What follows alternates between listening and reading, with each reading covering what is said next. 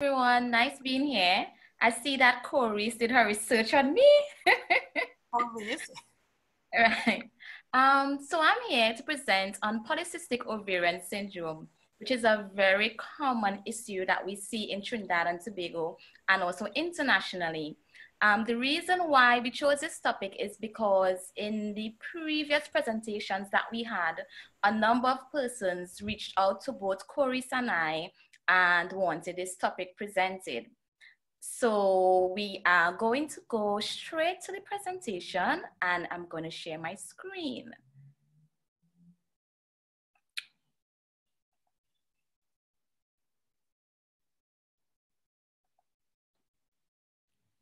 Just a moment.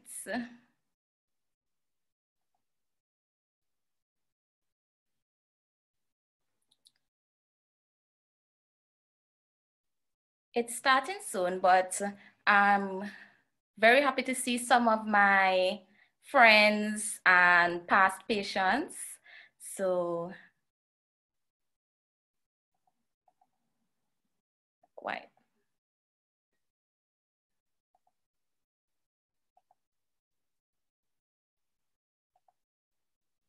Coris? Yes, Okay. Maria. Okay, good. You're right there? Or you Yes, need me to everyone seeing?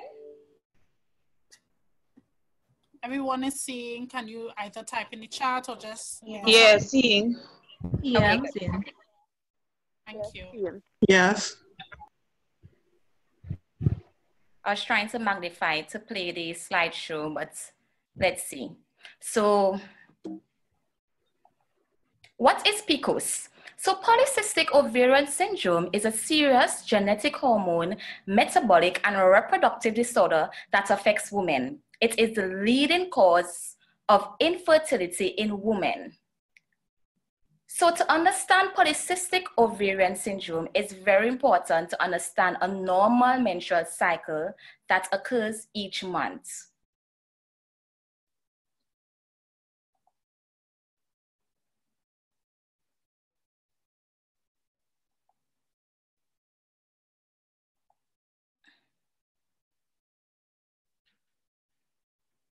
Sorry, we're having some technical difficulties, but I'll try to.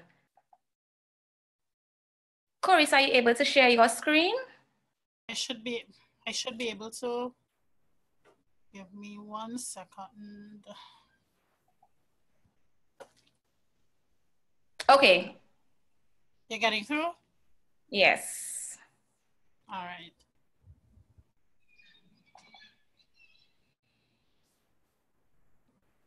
Ovulation is the release of an egg from one of the ovaries. It often happens about midway through the menstrual cycle, although the exact timing may vary. In preparation for ovulation, the lining of the uterus or endometrium thickens. The pituitary gland in the brain stimulates one of the ovaries to release an egg. The wall of the ovarian follicle ruptures at the surface of the ovary. The egg is released. Finger-like structures called fimbriae sweep fallopian tube, propelled in part by contractions in the fallopian tube walls. Here in the fallopian tube, the egg may be fertilized by a sperm. If the egg is fertilized, the egg and sperm unite to form a one celled entity called a zygote. As the zygote travels down the fallopian tube toward the uterus, it begins dividing rapidly to form a cluster of cells resembling a tiny raspberry. When the zygote reaches the uterus, it implants in the lining of the uterus, and pregnancy begins. If the egg isn't fertilized, it's simply reabsorbed by the body, perhaps before it even reaches the uterus. About two weeks later, the lining of the uterus sheds through the vagina. This is known as menstruation. So this is very different from what occurs in ladies that have polycystic ovarian syndrome. In women with PCOS, multiple small follicles, these are these are accumulated in the ovary, and none of these small follicles are capable of growing into a size that will trigger the ovulation from occurring. As a result, the levels of the hormones such as estrogen, progesterone, luteinizing hormone and follicle stimulating hormone become imbalanced. And with polycystic ovarian syndrome, there is an increase in the male hormone androgens, and this has to do with the increase of the luteinizing hormone. The cause of polycystic ovarian syndrome is, is unknown, and there's a genetic component like fibroids. So daughters of women with polycystic ovaries are at an increased risk of developing PCOS. A hormone imbalance causes the symptoms of PCOS similar to fibroids, which are growths that are linked to estrogen dominance. In PCOS, we see where there is insulin resistance. This means that the body cannot use insulin properly. Now, insulin is a hormone that regulates blood sugar levels. So if insulin, the hormone, isn't functioning properly, then this can increase your risk of developing diabetes. And high testosterone is also seen in polycystic ovaries, which is an increase in the male hormones. Now, who has polycystic ovarian syndrome? So PCOS affects 5 to 15% of all women of childbearing age. So one in every 10 women are affected. In African American females, we see where there is an 8% of females with PCOS. In Latina, there is 13%, and in Caucasians, there's 4.8%. In comparison to fibroids, which sees around one in three women developing them at some point in their life, and Black women being most affected. So how is PCOS diagnosed? So in the medical field, we use what is called a Rotterdam criteria. So the Rotterdam criteria, where there is presence of any two of the following criteria. So polycystic ovaries being one, either 12 or more follicles measuring two to nine millimeters in diameter on ultrasound, and also where the ladies have a period of irregular cycles or reduced periods where there's failure to, re- to um, release the eggs, and also hyperandrogenism, which is excessive male hormone, which is seen clinical or biome- or by biochemical evidence. In biochemical evidence, certain blood tests are done. These tests test for androgens and also testosterones. So this is a diagram showing uh, an ovary with polycystic ovaries. Well, there are more than 12 follicles. So it is very important to understand that not all women with PCOS have polycystic ovaries. And not all polycystic ovaries are caused by PCOS. So greater than 20% normal women have incidental findings of polycystic ovaries.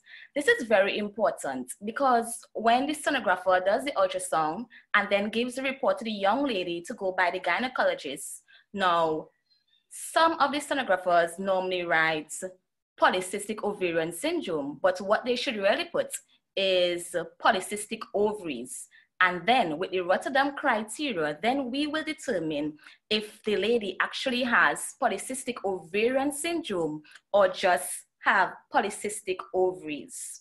So the transvaginal ultrasound is a preferred method, mainly because with abdominal ultrasounds, you are unable to actually see the ovaries clearly in some ladies.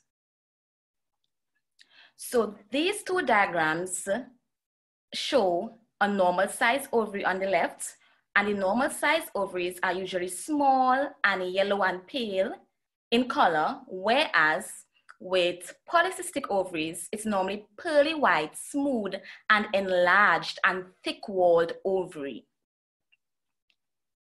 So the core symptoms and signs of polycystic ovarian syndrome include irregular or absent period, and this is the most common symptom and also the main differing symptom of women with fibroids. Infertility, remember we said that PCOS is a leading cause of infertility in women. Abnormal bleeding, this is definitely seen in ladies with PCOS, and this has to do with women who normally have missed periods, say for three, four, five months, and then the lining of the uterus begins to build up and then eventually it sheds after some months. then they present with heavy bleeding and then can present to the hospital with symptoms or signs of anemia. And they may um, require blood transfusion. So acne is another common symptom of ladies with PCOS. Acne affects 15 to 25% of PCOS patients, and it primarily affects the face and less often the back and the chest. Hirsutism. So 80% of females with PCOS suffer with hirsutism. And this is the presence of terminal hair in a female body in a male type pattern. This includes hair on nine body areas, the upper lip, the chin, the chest, the upper back, the lower back, the upper and lower abdomen, and the upper arm and thigh. So obesity, prevalence of obesity varies from 30 to 75%. It is a common symptom. So two thirds of patients with PCOS who are not obese still have excessive body fat and central fat. Acanthosis nigricans is also a common sign, and this is noticed by patches of dark skin on the back of the neck or other areas of the body. Alopecia or non-scarring hair loss occurs in 10% of women with polycystic ovarian syndrome. In terms of the clinical presentation of women with polycystic ovarian syndrome, it can be divided in terms of adolescence, reproductive age, and menopausal women. So in terms of the teenage years, you see ladies normally coming in with having irregular periods. Also, they have cosmetic concerns because of acne, the hirsutism, and also hair loss. In the reproductive age group, we see where infertility is the number one um, symptom or sign, and also ladies present with early pregnancy loss as well. During pregnancy, PCOS also increases your risk of developing pregnancy-induced hypertension and also gestational diabetes. In menopausal women, there is a risk of metabolic syndrome. And metabolic syndrome is a cluster of conditions that occur together, increasing your risk of diabetes, obesity, heart disease, and stroke. Also, the risk of endometrial cancer is high as well in these women. And we see that obesity is the number one factor that occurs in the all age groups. So, as we said, PCOS increases the risk of type 2 diabetes, infertility, heart disease, certain cancers, such as endometrial cancer, which is cancer of the uterus or the womb, and also obesity and metabolic syndrome. So 33% of women with PCOS can have metabolic syndrome and obesity can be classified in either apple-shaped obesity and pear-shaped obesity. So apple-shaped obesity, this is increased fat around the belly region and it is associated with metabolic syndrome and there's more visceral fat. There's high risk of health problems with apple-shaped obesity. Whereas with pear-shaped obesity, um, this is less commonly associated with metabolic syndrome and there's excess fat around the hips and the thighs. There's less visceral fat. Therefore, there's lower risk of health problems occurring. So PCOS and infertility. Infertility is the most common medical complication associated with PCOS. It occurs in approximately 75% of women with polycystic ovarian syndrome. It is seen that weight loss of 5 to 10% of body weight may improve fertility with women with PCOS. This could mean that even losing 8 pounds can make a difference. So normally we tell patients to try to lose weight either by exercising and also a change in diet. The thing with polycystic ovarian syndrome is that it also has an emotional effect on women. So some women are, they are embarrassed about their appearance. Um, they are concerned about the ability to have children and Unfortunately, some women actually suffer with depression and anxiety. So how is PCOS treated? So PCOS is not curable like fibroids. And the symptoms of PCOS are treatable by a healthy lifestyle and maintaining a healthy weight. So the lifestyle change can also help women with fibroids to better cope as well. So it's very important once a woman is diagnosed with polycystic ovarian syndrome that they protect or monitor their endometrium lining, meaning that an ultrasound should be done knowing um, the endometrial thickness or the lining of the endometrium and what's and once it's a certain thickness greater than 15 millimeters then your doctor may offer endometrial biopsy or sampling. This is just to monitor your risk of developing endometrial cancer in the future also medications for regulating menstrual cycle and also to treat acne and hirsutism and hair loss so PCOS management in terms of lifestyle, as we said, so a healthy diet. So limit foods with added sugars such as sodas and candy. Limit processed foods, juice, cereals, canned or tin foods and snacks. Eat more whole grains, lean meats, fruits and vegetables, and non-fat dairy products. In terms of physical activity, 60 minutes every day, maintain a healthy weight, and this helps to maintain a healthy weight and also helps with depression, and anxiety. So in terms of the medical management, hormonal contraceptives is also given for ladies with polycystic ovarian syndrome. So low dose of oral contraceptives are effective in treating acne and hirsutism. It is seen that a minimum of two years and cosmetic measures are needed to achieve good results. It also manages irregular menstrual cycles. So normally with patients who we see that have irregular cycles, we normally put them on a low dose oral contraceptive pills. For ladies who presents to the hospital in the acute setting with prolonged and heavy bleeding, we normally give them Provera, which is periodic progesterone withdrawal. So they would take Provera for over like seven to 21 days to stop the bleeding and this actually helps to thin the lining. Sometimes we actually give Provera for a longer course.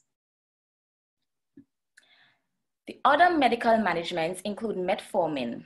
So metformin is an anti-diabetic drug and this improves the metabolic abnormalities associated with PCOS and may improve menstrual cycle and the potential for pregnancy. So one thing with metformin, some patients stop take the course of metformin because of the side effects. The side effects include nausea, diarrhea, vomiting, and abdominal discomfort. Clomid is a fertility drug. So this is a non-steroidal weak estrogen. It's normally started on either the second, third, fourth, or fifth day and given for five days. With Clomid, it sees that there's an 80% chance of ovulation and then a 60% chance of getting pregnant. If all medical management has failed, and for women who want to get pregnant, then there is, the um, last resort will be laparoscopic ovarian drilling. So it's sometimes used for women with PCOS who are still not ovulating and are trying weight loss and fertility medicine. So we have seen that with 50% of women, they may be able to, to become pregnant after they have this procedure. And this is also done in Tobago under um, Dr. Wheeler. And we've seen with patients that we did laparoscopic ovarian drilling that they actually got pregnant. The thing with ovarian drilling is to note that you're actually using the diathermy. It's a sharp pointed heated instrument that actually bursts the follicles. But you cannot overdrill the ovaries because you and because you will be damaging ovarian tissue. So it's very important for the surgeon to note that at least five to six holes should be drilled. So this is the presentation of polycystic ovaries. And at this point in time, we can engage in questions and answers. I hope that it was simple and everyone understood.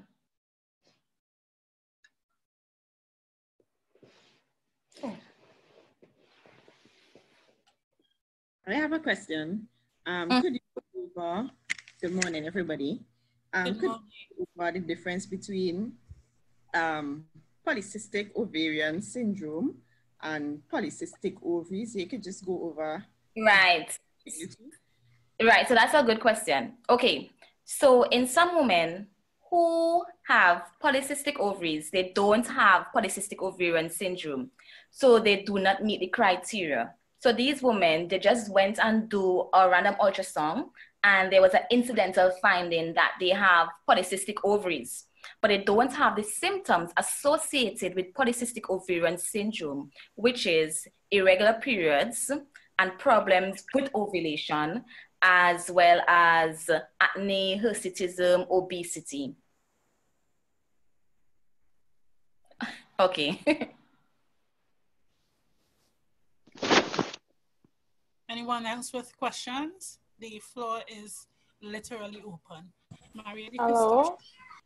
Hi, good morning. Welcome. morning. Morning. I'm Shanta.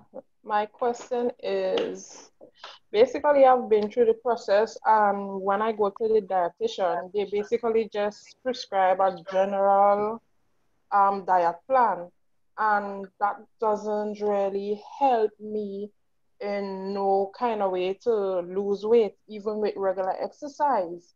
So, how do I jumpstart a healthy metabolic rate to mm. actually lose the weight?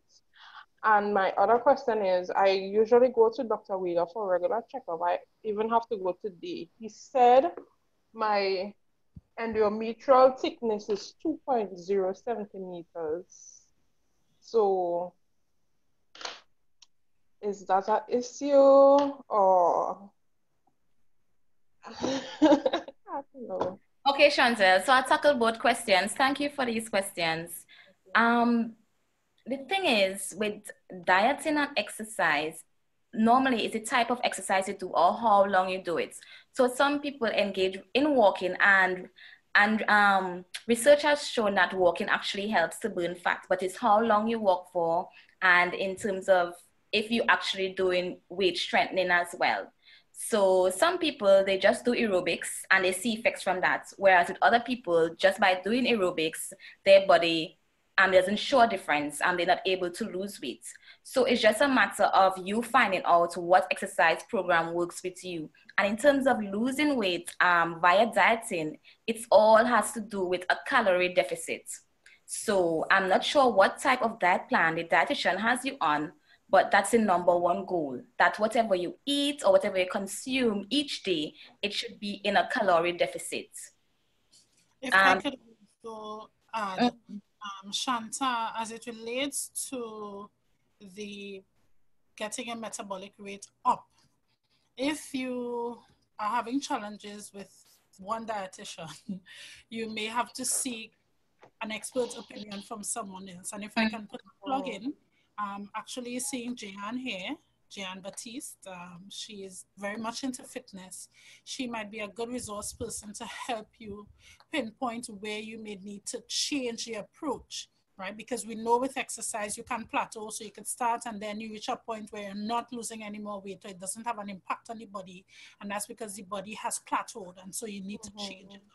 Yeah, so you could look just as we encourage as it relates to fibroids and getting second opinions and, and knowing your body, you can also do the same as it relates to diet and advice related to your diet. Yeah.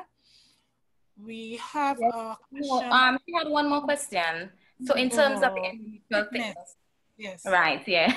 Shantan, I haven't forgotten you. So in terms of the endometrial thickness, that is very thickened. And knowing Dr. Wheeler, he would suggest that you do an endometrial biopsy. So this Yes, can be done by a dilatation and curettage or by Pipelle. So Pipelle is actually not as vigorous as a D&C. it's actually a small plastic tube that you insert into the uterus and you take some of the sample to test. And he might even put you on oral contraceptive pills that actually help to thin the lining. So good All right. question. I hope, I hope you Uh, understand. A question that came in, uh, Marielle, from one Cassie is, can PCOS cause severe pain whilst ovulating? I love that question. PCOS actually does not cause pain because the cysts are very small, they are very tiny. So, and this is a normal complaint from a lot of women that come to the hospital when they are seen in accident and emergency. They have polycystic ovarian syndrome and they are having pelvic pains. But polycystic ovaries do not cause pain. What could happen is that one of the cysts can develop into a complex cyst. And that complex cyst is what causes the pain. So complex cysts, like I know Chevy always asks about dermoid cysts and other types of ovarian cysts, once they are larger than five centimeters, they can cause pains. And remember, um, in females, there are other causes for pelvic pain. So it could be actually due to a pelvic inflammatory disease, as we said, a complex ovarian cyst. Um, it can also be due to hydrosalpinx, which is a swelling in the fallopian tubes. So if any woman um, have a symptom of pelvic pains, then, then, then an ultrasound should be done and they should have a physical examination um, by the gynecologist because it's not going to be due to polycystic ovarian syndrome unless there's one complex cyst that is growing. Another question that came in, Marielle, relates to getting pregnant after drilling. How long after should you or can you? We normally tell patients to wait at least um, three to six months after the ovarian drilling to okay. see defects. All right. And as it relates to the chances of becoming pregnant, having one ovary, PCOS, and fibroids. what a difficult question. So I'm not a fertility specialist as yet. Um, but you said one ovary, PCOS. Oh, once you are ovulating, even though you have one ovary and that ovary has polycystic ovaries or has small cysts or small follicles, once you are ovulating, there's still a chance. And remember, fibroids can only cause infertility depending if that fibroid is actually blocking your um, fallopian tube or if that fibroid is actually prolapsing into your cervix, pre preventing the sperms from entering your uterus. So there is a possibility that you can still become pregnant. We just need to start the ovulation process. And by starting the ovulation process, then the doctor may give you Clomid. So with ladies who want to become pregnant, oral contraceptive pills is not the choice because oral contraceptive pills is, is, is, I'm um, going to prevent you from becoming pregnant. So therefore, we're gonna start it, lifestyle changes, Clomid, and see if ovulation begins. All right, so we have a question as it relates to the correlation between that fancy H word. I'm not even going to try to pronounce it. What's that? Yes, hirsutism. Oh. hirsutism and um, I think that person probably because you did mention that. Oh yes. Yes. Yeah. But you could go ahead for her.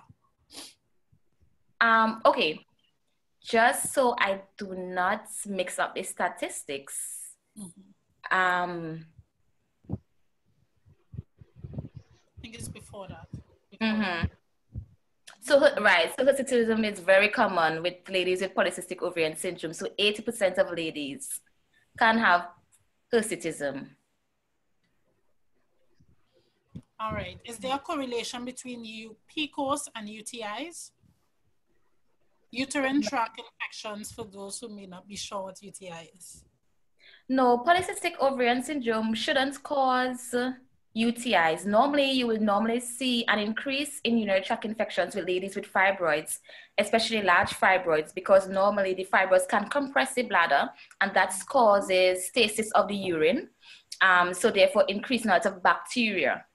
So you will see a correlation between fibroids and and recurrent UTIs, but not from my knowledge with fibroids and PCOS. All right. So the questions are rolling in. Um, Donna, that's I have a question.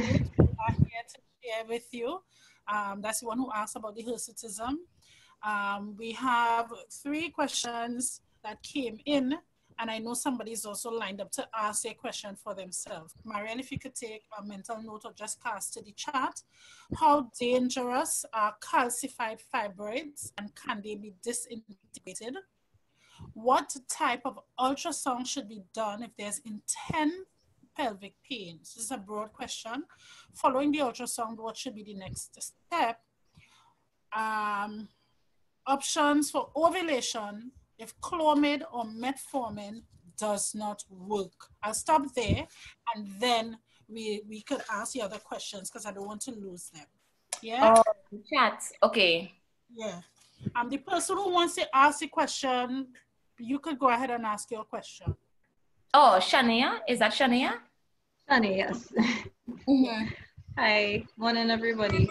Um, with regards to the size of ovaries, is it that um, I have one that is approximately twice the size of the other, and I want to know if it's the cysts themselves caused it to be that big, or it was um, big from before, or if the enlargement caused the cyst, or okay. Or that... so in terms of diagnosing polycystic ovarian syndrome on ultrasound, in terms of diagnosing polycystic ovaries, there's also the increase in volume of the ovaries because the cysts or the number of cysts can cause an increase in the volume of the ovary, therefore making that ovary larger than the right ovary if it's the left ovary being large. Yeah, the left. oh, is it? Also, like, yeah, like really bad pain on on the left side also when I'm menstruating. So I don't know if the size is what causing the pain or what? Because I saw somebody ask if ovulation caused pain, and I was going and ask that too. So ovulation also. causes pain. So yes, women experience ovulating pain. Yeah. Okay, good. Thanks, Shanae. I was trying to go into the chat because there were a few questions that were coming in. All right, so we could start from the top, right? The first one is not directly people related. You know, with fibroid, would fibroid questions. Um, how dangerous are calcified fibroids and can they be disintegrated? Oh, so calcified fibroids are normally seen in menopausal women, and these are not dangerous. And this has to do with the, with um, the, the um, decreased blood supply and also decreased estrogen levels in menopausal women in terms of this integrated, I'm not sure if I quite understand if it's. If they will, I, I'm not sure if the person is asking if they will just disintegrate on their own. Or like disappear. Yeah, no, they'll just stay there. No, they'll just stay there calcified and become small and not bothering. Yeah. Uh, if I could also jump in, um, calcified fibroids really over their blood supply, right? Yeah. So they kind of dry and calcified means they get hard, they no longer feel, so they won't affect you to cause symptoms, but they will. And I guess that's why Dr. Armstrong shared that calcified fibroids usually affect menopausal women, but even in, in my personal case, some of the fibroids were growing so rapidly that they outgrew the blood supply. And so I also had calcified fibroids I was just there. So disintegrating, not necessarily, um, but they are not dangerous to the point that they may cause problems. If you have other fibroids, those are the ones that may be causing the, the signs and symptoms that you're experiencing. Um, I want to answer the question with what type of ultrasound should be done if there is intense pain? Yes. Following the ultrasound, what should be the next step? Honestly, once dealing with females, and if you want to know a lot about what's going on in the pelvis, even if you have an intense pelvic pain, I would suggest that you are given analgesia or pain medication and that we gently proceed with a transvaginal ultrasound, meaning that the, that the ultrasound probe is passed through the vagina because this actually, you get to see your pelvic organs properly. So you get to see your ovaries and if there's any large cysts on your ovaries, you get to see your fallopian tubes properly, if there's any swelling. And it's good when you see your fallopian tubes as well because it actually gives you an idea if there if you have any pelvic, any pelvic infections, because in terms of in terms of pelvic inflammatory diseases, it's seen that there's what you call hydrosalpinx, so swelling of the tubes. That's also a common sign with ladies having pelvic inflammatory disease. If you have a gynecological finding, you must see a gynecologist. And one second, one second. One second.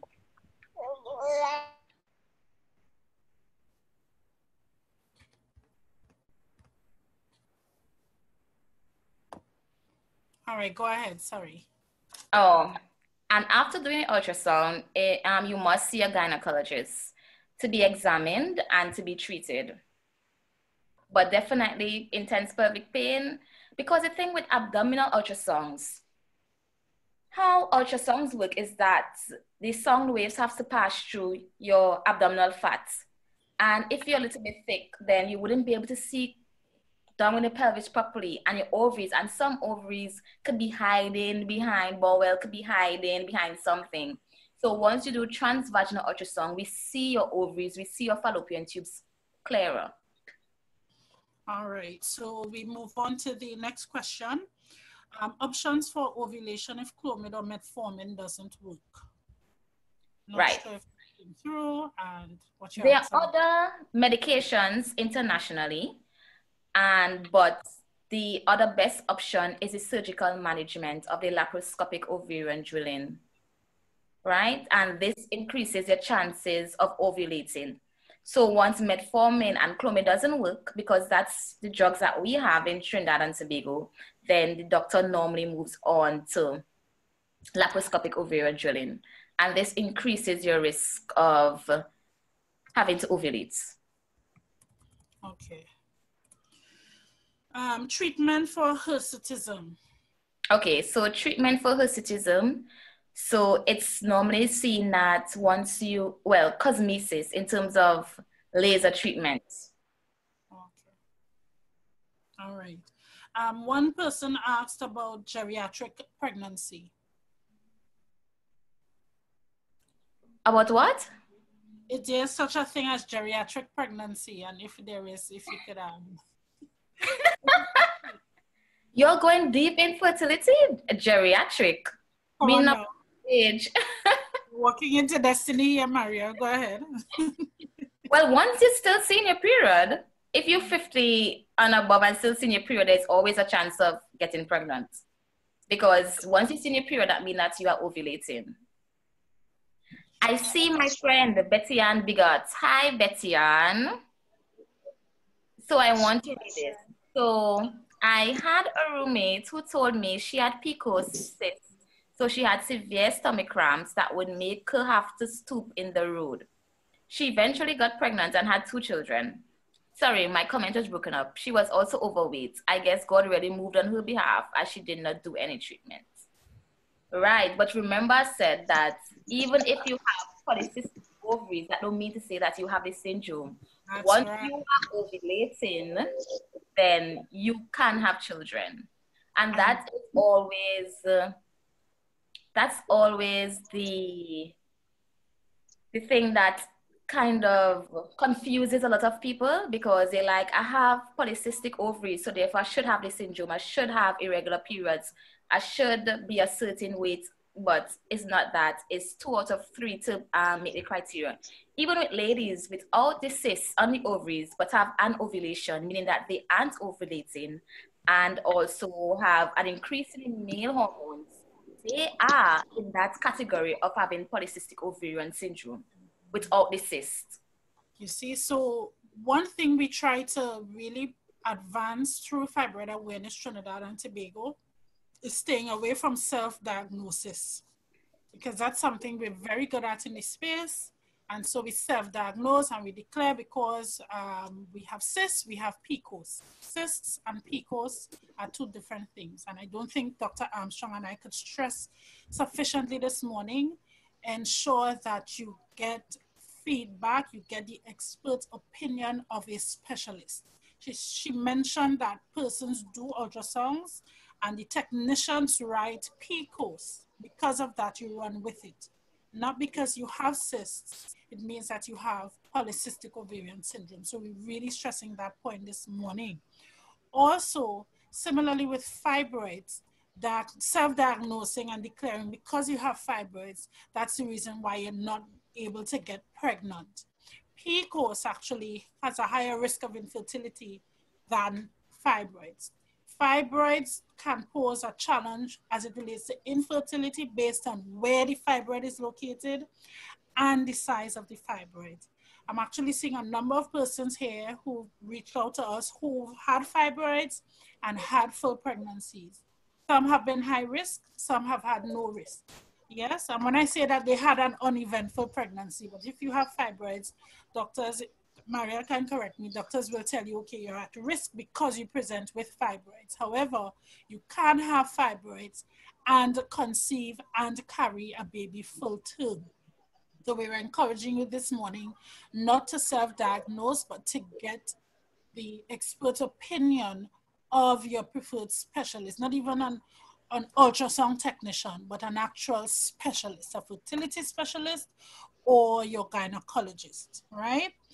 Um, I have a question. Marielle, someone, sure. I just wanted to get to a question came through on the comment um, on the chat that speaks to the possible implications of PCOS um, on mental health, apart from depression and anxiety, right, of the person having anxiety or depression, but as it relates to the hormones also affecting affecting your emotions because of a hormonal imbalance. I'm not sure if you could speak to that. That is true. That is true. Um, so polycystic ovarian syndrome is associated with inflammatory processes that occurs in the body. And this high inflammation also increases your cortisol levels. And your cortisol levels is one of the hormones that deals with stress. So increased cortisol levels can also trigger, um, there's a area in the brain that, and it can also trigger you to actually suffer from depression and anxiety. So that is true. All right. Because PCOS has an inflammatory process. All right. Um, one Cassie is saying that she has to leave. Thank you so much for joining us, Cassie. Thank um, you, Cassie. As we continue with the, the questions and our open chat with Dr. Armstrong. So one person wanted some clarity as it relates to laser treatment for hirsutism. They, they weren't sure what you meant by laser treatment. Oh, um, well, normally in the spas, well, I know that certain spas internationally, they give um, laser treatment. So hirsutism can be dealt with cosmesis management. So like waxing, um, laser treatment, can't really explain it because that's not my field, but normally spa treatments with laser. So it's a, it's a cosmetology or mm -hmm. cosmetological treatment. So you go to a spa, you go to someone who will remove the hairs via laser. That's essentially what Dr. Armstrong is speaking to. It's um, mm-hmm.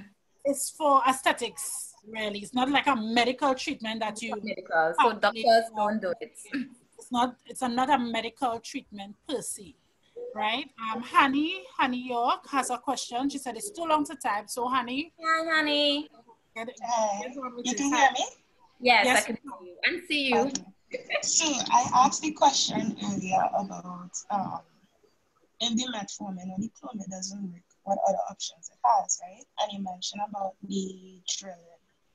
So my thing is, right, if you already lost one ovary, so now you only have one, like what are the the um the I mean, the positive side of the drilling is that you get to ovulate, but I'm sure that it affects the ovary some some way or the other in terms of like when it's time to conceive and stuff like that because now you only have one. So that's my my my um, question. Honey, asked me a very difficult question. and for fertility specialist, but I will try to answer it. So in Trinidad and Tobago, we know about Clomid, but there are other fertility drugs. But honestly, I don't know about them being in Tobago. Um, but I will always say that you seek a fertility specialist, which uh, we have in Trinidad and Barbados and in Jamaica. the thing about having one ovary and having ovarian drilling, I would suggest that you go by someone, well, by a doctor who will know how to do the ovarian drilling, meaning not to puncture too much holes. Yeah, so because puncturing too much holes will destroy the ovarian tissue. But if the doctor just give you five holes or six holes in that one ovary, ovulation would occur and that would not affect the functioning of the ovary in terms of releasing an egg for fertilization. So it can still work.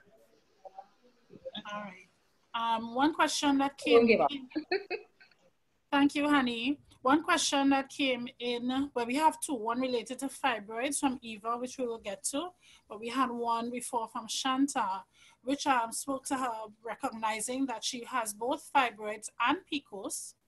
However, she has regular, so she's asymptomatic essentially. She says she has regular cycles, no pain before, during her menstrual, that kind of thing.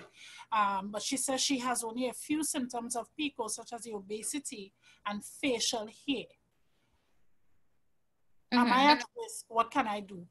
I'm asking a question because I want to know what she's at risk. What what risk is she asking about? Am I at risk for what? I'm not sure. So if Shanta is still here, if she could just chime in and let us know. And the other question has to do, as I said, with fibroids. Um, so Eva, anytime Fibroid Awareness Trinidad and Tobago has um, a session, you could always ask about fibroids, okay?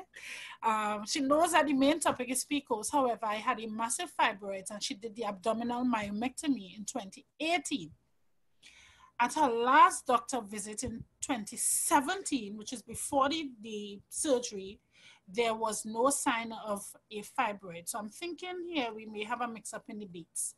What she's saying though, by the end of September 2018, a massive one was discovered and she was encouraged to do surgery again, which she did within two weeks after discovery. Is there any explanation for the rapid growth? And is it normal and how could it have been brought on?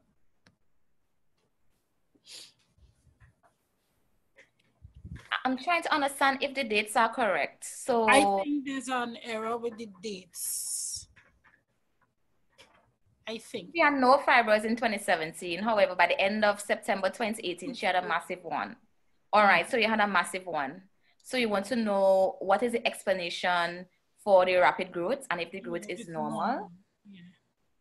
Well, all our bodies are different, but most times fibroids grow slowly, but it depends on what you're eating, one, and your genetic component, like in terms of your family history as well as what triggered that estrogen to be growing the fibroids as well. Because estrogen, remember, fibroids are estrogen dominant.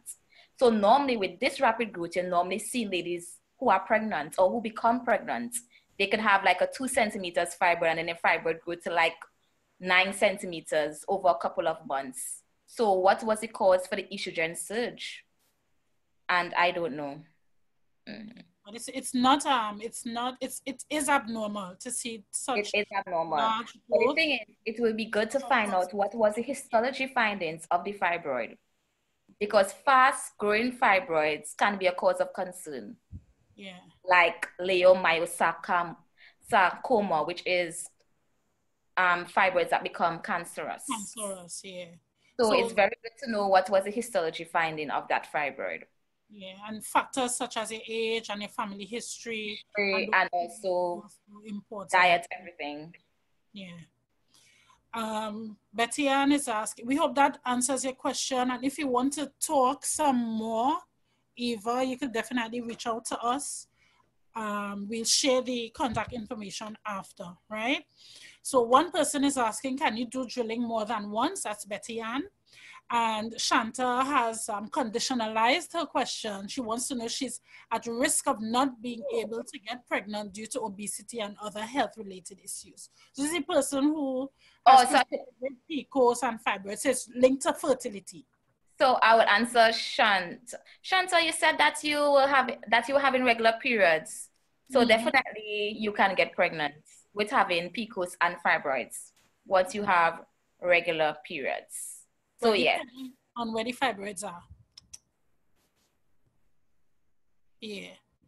Mm-hmm. And uh, the Betty Ann asked about drilling more than once. do you have to drill six holes at one time or do you do three and then Betty Betty Ann is one of my favorite patients, past patients. Betty Ann, I'm in clinic with you. no, I didn't mean like that, Betty Ann. So in terms, I mean, each ovary is supposed to drill at least five to six holes, right? At one time, meaning that on the table at surgery, right? But not drill first three holes and then later on, no. Not like that. Betty Ann. All right. Um, Hi, Kenyan. Hurry up, come back with your expert qualifications, please. Definitely. All right. Um, do you have to, okay. We're asking, oh no, sorry, that's just a general question from Donna as it relates to the presentation being available for distribution. So we've been having very exciting times behind the scenes as it relates to um, navigating Zoom. We want to sanitize the presentation. Hi, Natoya. Oh, okay. Hi, Natoya. Um, what we want to do is um, ensure that the presentation is compact and concise. So we have to do some editing and then we will share via social media platforms and we can make available certain parts of it for persons who might be interested. What we want you to do is indicate to us via our website because it's easiest to track there via subscription what you're interested in, if you're interested in the presentation. All right, I can plug that in now. The website is www.ttconfidenceproject.org. I will also type it in into the chat and you could subscribe there. We will be able to get your full contact information, that is your email, and if you share your phone number and your full name. And then you could indicate if you want the presentation. And also via the subscription list, we also keep you updated on upcoming sessions. So we do not bombard you with information all the time, but we will share with you upcoming sessions um, that you could be invited to. All right, so um, not a question, but a great job, ladies, and thank you. Looking forward to another session on fertility. Um, I also know we had a request coming in for more information on endometriosis. And uh, we are just excited that we are able to share the information. As I said at the outset, our focus is on awareness and advocacy.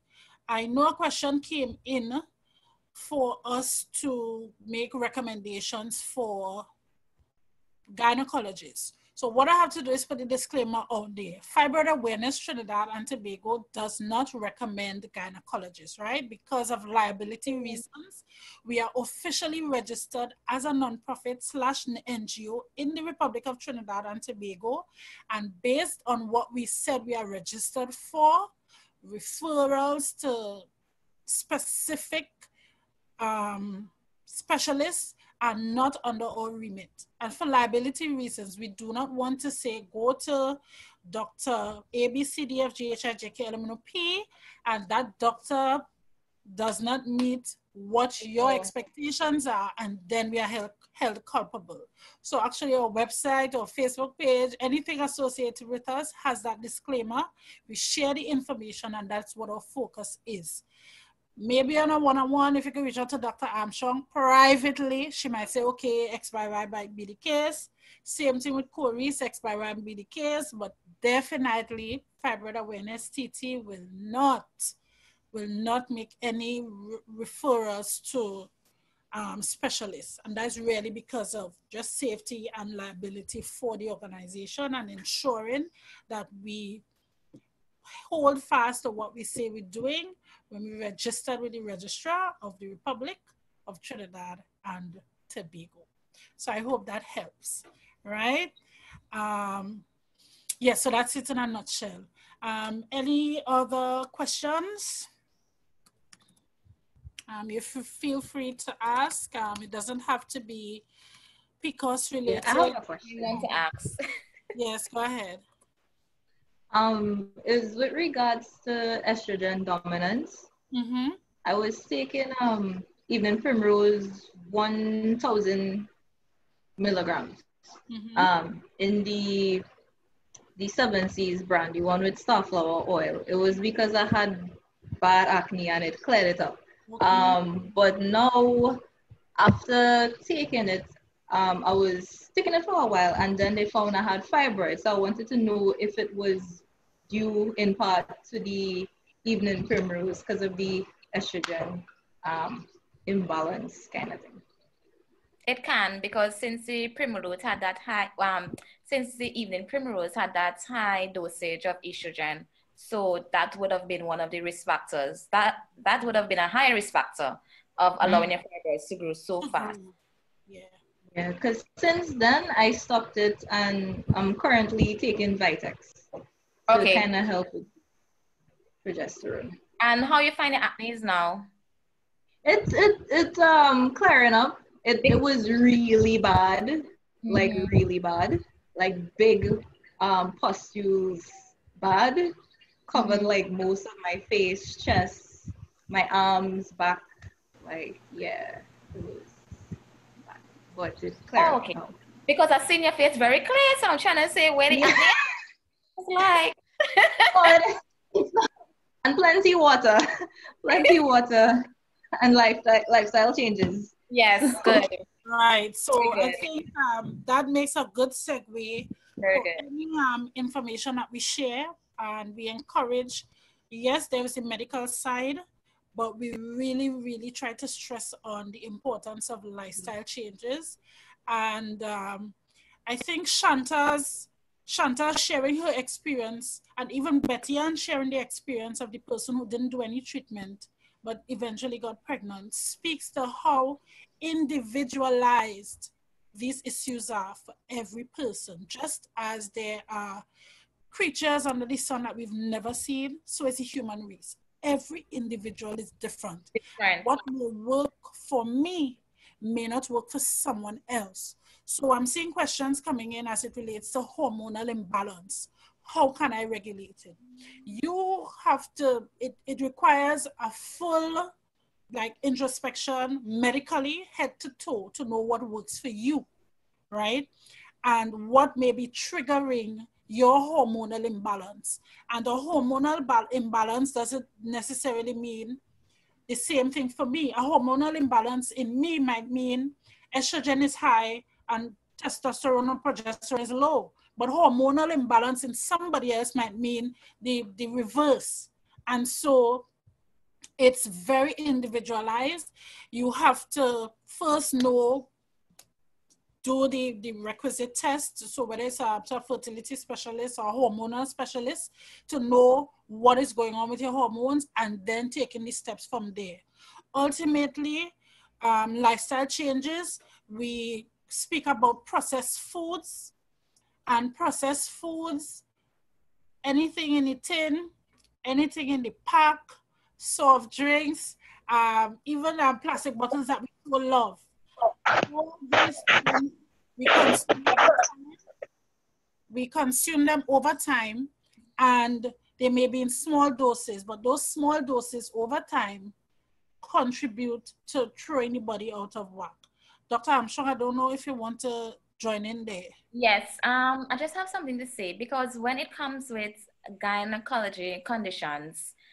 It's very difficult to be working in the gynecology department and especially in clinic and seeing ladies coming in who are suffering from these conditions. Polycystic ovarian syndrome, they are unable to get pregnant in some ladies and they have increased weight, some of them suffering with some of them going to dietitians and not getting help. Some of them was taking metformin and it's not working. And also with endometriosis, the pains involved with endometriosis, it's just that with gynae conditions, it's not like, uh, what to say, know, surgery orthopedics. You break your foot, you go by the surgeon and he fix it. With gynecologic conditions, it takes time. It takes time, it takes work. Find a gynecologist or a doctor who you trust, who you could talk to, in terms of if you have certain problems because it does affect you in terms of your mental health it does because you are dealing with this as a woman you're struggling each day and in terms of women we normally um to be honest we um, don't like to compare our bodies but it happens and we've seen where our face has changed. We have acne now. We've seen where our, in terms of our abdomen area, is getting fat, or clothes not fitting well, and it can affect us psychologically. And I'm a big promoter of that. If you want to talk to somebody, find a psychologist. Because yes, you're seeing a gynecologist as well, but you need someone and you may need therapy to talk about all these issues and how it is affecting you. And normally, when you've been seen at the hospital, most times, doctors, we don't really have the time to spend each hour, one hour on each patient. Like I could tell you from my experience, I used to take very long in my office in the clinic back home. And my nurses, they used to be like, I'm sure, hurry up, you're taking too long. But then I realized that's how patients liked me and they liked coming to me because I was, I am would listen, but I can't listen for a lengthy period because I have other patients. So same way that other doctors, they can't listen for long. And that's not their fault. That's just because they're working in the public sector and you have to see all the patients that are there in the afternoon and in the morning gynae clinic. But we do care and we do understand, but at the same time, it's very difficult to be a woman and have a gynecological issue or condition, it's very difficult, and we understand. Yes, um, I could add further um, by sharing the experience with a naturopathic doctor. So Dr. Agbeko, again, she has shared and she works with us once she's available. Um, her one visit to Dr. Agbeko may take about two hours, right? The first visit, right? and naturopathic medicine somewhat tries to give a broader picture. They may refer you back to, for example, in the case of fibroids, Dr. Agbeko says once your fibroids get beyond a certain size, it has to be removed. There's no question about it. It has to be removed, and then you become very serious about coping through managing your lifestyle changes and being serious about it, right? Dr. Armstrong also stressed heavily on the impact on mental health. And I'm very happy that we have also started the conversation through Fibroid Awareness TT, um, the session previously that touched on men and mental health. And through that, we are actually planning the final session for this month of May is actually going to zone in on mental health. We are looking at the last Sunday in this month. We just have to firm up the time I'm not sure how many persons who are logged on now would have joined us.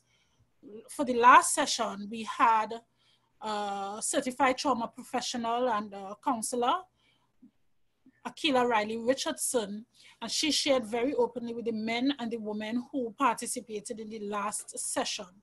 Um, if I can share, Akila is the very first person that Fibroid Awareness TT counseled, and I'm using counseled very um, loosely. So we offer um, support to women who have to do surgery, right? Fibroid removal, um, any type of surgery related to fibroid treatment. Um, we've never had anybody come to us PCOS related, but she had fibroids and she had to do the open myomectomy, the abdominal myomectomy. And so we supported her through. Um, we give you tips, you know, how to cope, the questions to ask, that kind of thing, just to prepare you. We pray and we support and encourage. So she was the first person that we did that kind of work with. And then she went on to have twins naturally after having um, fibroids removed.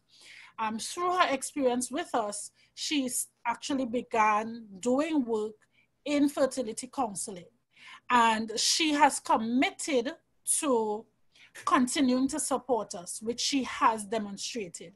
So for those who may really be having that challenge, we are just letting you know you can look out for the communication from us and we endorse what Dr. Armstrong is saying.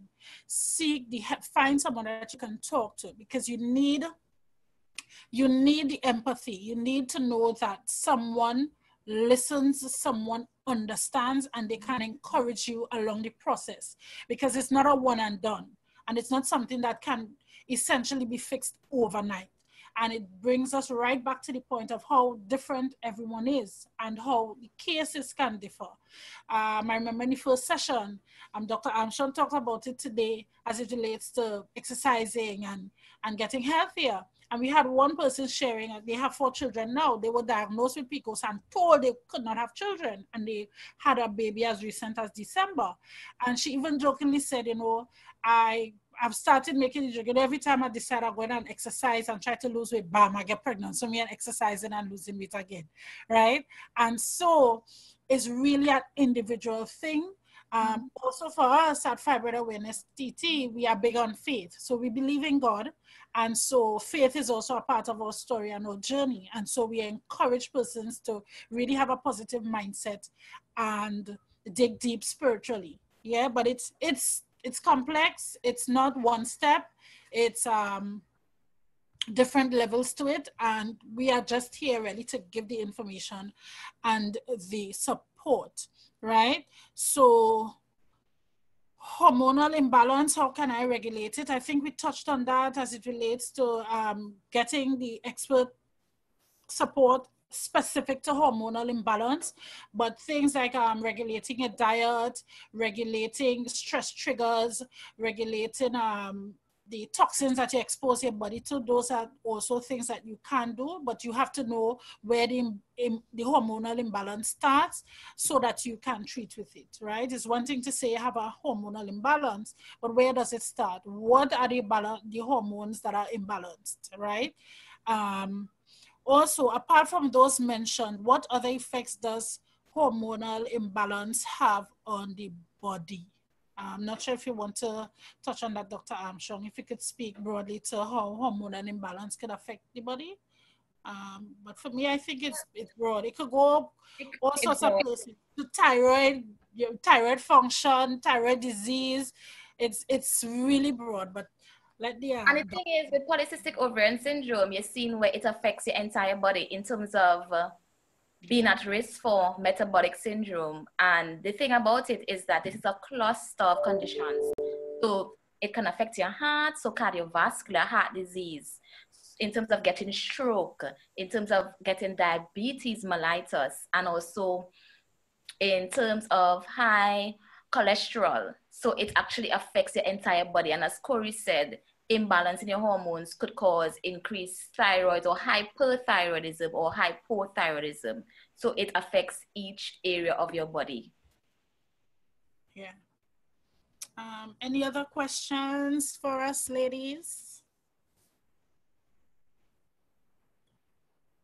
Oh, I just want to say in I know our culture in Trinidad and Tobago, when we, in terms of planning for pregnancy, it's very important that when you find out that you become pregnant and you have polycystic ovarian syndrome, to please go by the obstetrician.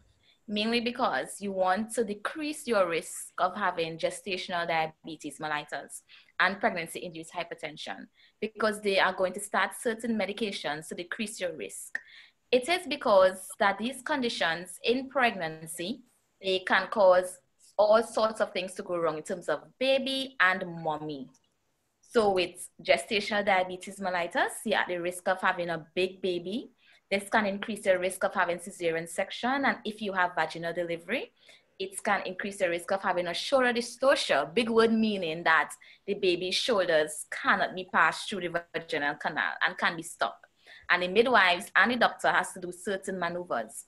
In terms of gestational diabetes mellitus, also increase the risk of having stillbirths. Stillbirth meaning that anytime during your pregnancy, your baby can suddenly die, unfortunately.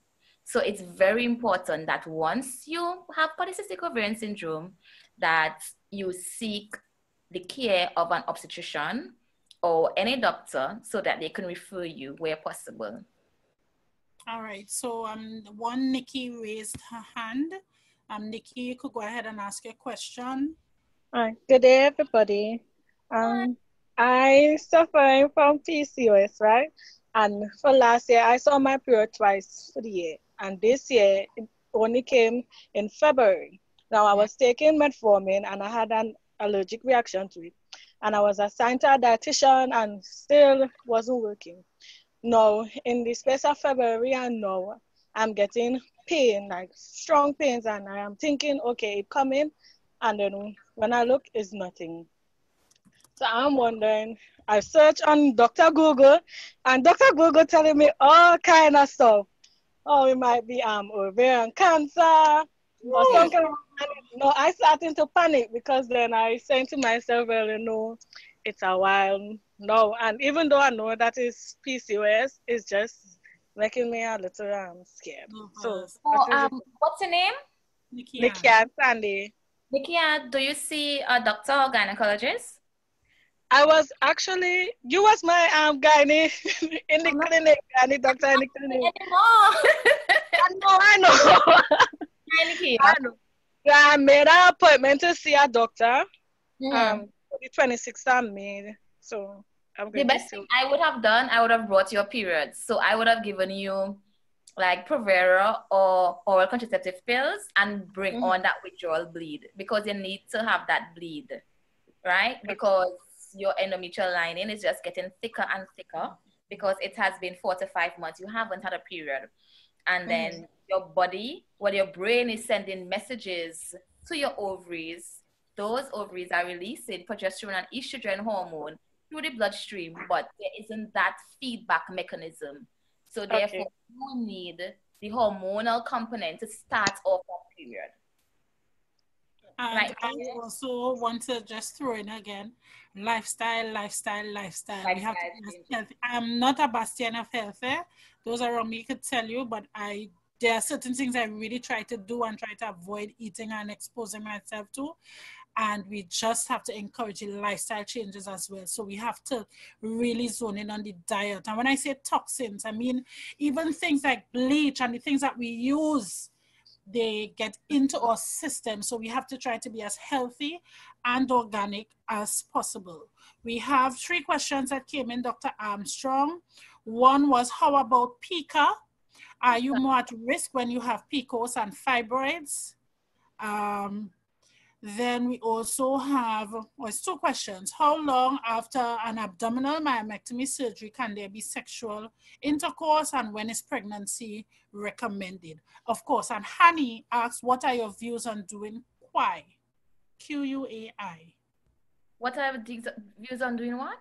Quai. I'm not sure what Quai is. No, because what are your views on Dong Quai? oh, Dong Quai, right. Oh, okay, sorry. I saw an eye in the Dong there. Forgive me. okay. But go ahead, Dr. Armstrong. So we have the question about PICA, and the question about um, abdominal myomectomy, how long after you can have sexual intercourse, and when is pregnancy recommended? PICA, so the compulsive disorder that you normally eat a lot of foods, right? I'm yeah, not sure. You're supposed to eat like paper, things that right. value. I'm guilty here now, so I just. Uh, you do that. Normally, with persons with anemia, normally have PICA. Yeah, yeah PICA. and I think that's the link because if and that's the link because PCOS you have abdomen. So and with PCOS you have abnormal uterine bleeding. So therefore you will be eating. Well, you you will be craving these things because of anemia. So yeah. there is a risk of having pica.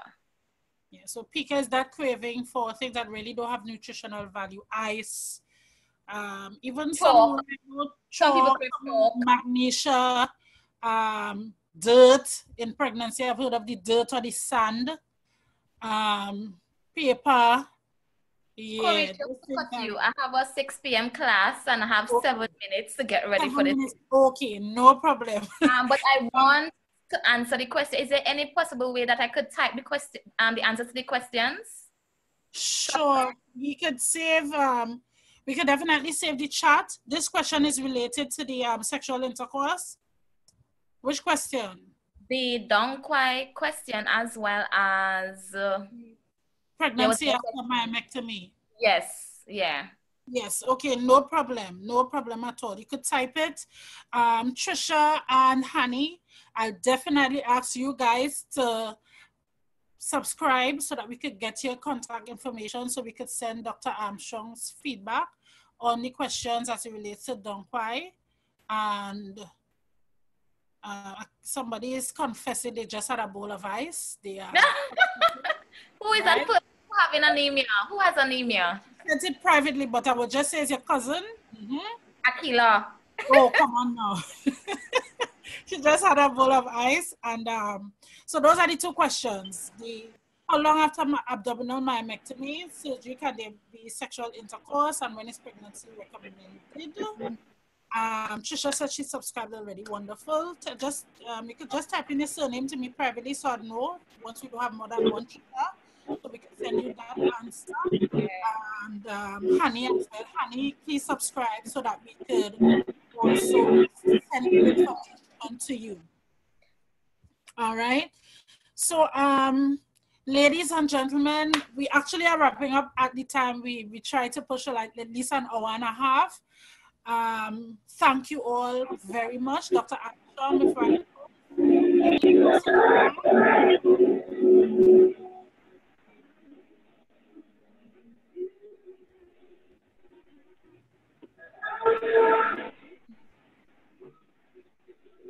All right, sorry, go ahead, Dr. Armstrong, for closing remarks. So, um, so I enjoyed this presentation and the interaction with everyone. Nice seeing a lot of people that I know um, and that I treated. And uh, we definitely have to do another session. So I'm not sure if any one of y'all can get in contact with Corey or myself and just give suggestions on the next topic that y'all want to discuss. Mm-hmm. Oh, so thank you, Diva. We, oh, okay. Sorry, I have to run because of my class. no problem. So Aki wasn't confessing. Somebody said it to her mistakenly. No ice, no ice. Okay. Uh, with that said, um, thank you so much, Marielle. Thank you, thank you, thank you. ladies as well, thank you very much for joining us. Our handles on social media are at fibroid TT. So that's F I B R O I D T T. That's our Instagram handle and Facebook. It's Fibroid Awareness Trinidad and Tobago. I know this is back to front, but you should see this look This is the cover photo, the profile photo, the logo. Also, our website is www.ttconfidenceproject.org, O-R-G. So you could subscribe there. Persons who may be interested in learning more about the organization in possibly volunteering once things open up. And I mean, even online, if you you know there are strengths that you could volunteer. At this time, you can click on the area that speaks to becoming a fibroid awareness TT ambassador and you can submit your information there. For those who need the information, um, indicate when you're subscribing why you're why you're subscribing the information that you want. And i think that's it in a nutshell. We touched on mental health and as promised during our last session we want to do a sun like a sunday afternoon. So more than likely it will be the sunday the last sunday in this month because may 28th is actually the international day of action for reproductive health, women reproductive health. And it's something that I wanted us as Fibroid TT to actually commemorate in some way. Of course, COVID has put a damper on how we can congregate, but because of technology, we can still connect. And so with Akila Riley Richardson, who presented during the last session last week, we will be having an evening just dedicated to women um, talking about the, the mental aspect of dealing with perceived infertility and just the challenges because of reproductive health issues. Um, we continue to provide an open and a safe space. So once we get that information and we firm up the dates, of course, we will begin promoting, we will start sharing. So once you subscribe to our website, you will get that information. And then of course, through all the channels that we use, social media, um, WhatsApp, and we just put the information out there and you could join us. More than likely that session, because it may be a bit more sensitive, we'll have a password, but we'll definitely be using the Zoom platform. So you can look out for that information and just join us on that Sunday evening, um, maybe around 4.35 around that time in the afternoon once you know the sunday lunch settle in and that kind of thing. And then of course keep your your questions and those things that you want us to touch on. You could always message us. Um, we already have two that we would be looking at and that's fertility, broader fertility, and endometriosis. So thank you again very much for joining us, taking the time out to um, spend some time with us. We truly, truly appreciate it because we know your time is valuable. And we hope you have a wonderful week, a wonderful, wonderful week, and all the best. And of course, we're open, reach out to us, and we share and talk as much as we possibly can. All right, so bye, ladies. Thank you so much. Bye-bye. Bye.